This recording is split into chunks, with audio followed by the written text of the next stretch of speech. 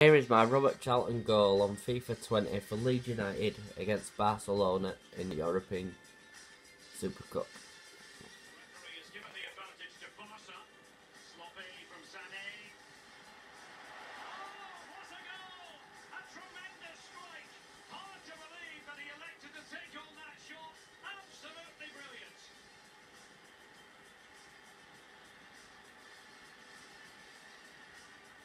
In off the crossbar.